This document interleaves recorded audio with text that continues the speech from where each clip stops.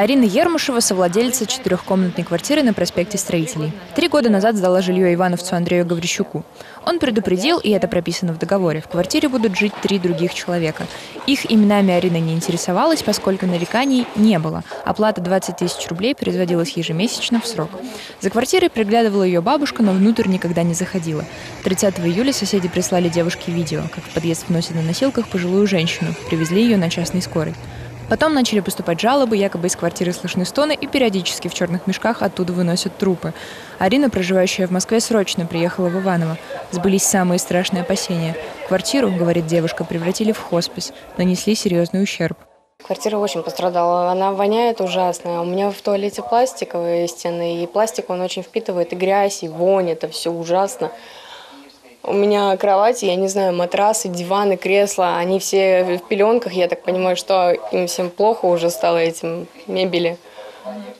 Что еще? Полы, стены. Вон полы все грязные, потому что они в обуви ходят, и всем без разницы. Арина рассказывает, 1 августа в квартире находились четыре пенсионера. В каждой комнате горшки, пеленки, много таблеток. Было четыре старика, и к одному из подошли, спросили, а вы знаете, что вы не в больнице?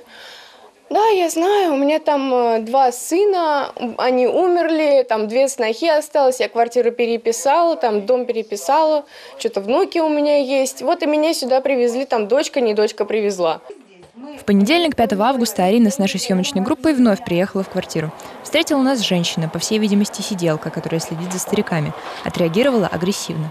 Я, я хочу, чтобы вы покинули мою квартиру. Вы кто? Я же объясняю. Вас как зовут? Я не буду ничего говорить. Да почему? Это моя я квартира. объясняю. Хорошо, я сейчас полицию вызову, она будет устанавливать вашу да. личность.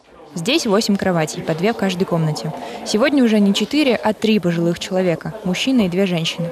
На вид им больше 80. Одна из пенсионерок нам рассказала, сама не понимает, как оказалась тут. Дом падал три, три раза, типа без сознания. Угу. И, и приехал, приехал ко мне э, старший сноха угу. и младшие приехали и забрали меня и повезли сюда. Я даже не знаю, как я попала. Угу.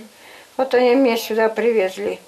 В квартире мы нашли вот такое объявление. Оно есть в интернете. Пожилых людей приглашают в частный мини-пансионат. Адрес, правда, не указан. Обещают одно-двухместные комнаты, пятиразовое питание, досуг, любовь и внимание. А еще вот такая памятка. Когда завтрак, обед, ужин. Гали чай без сахара, остальным по одной ложке. Ключи от двери прятать, газ закрывать.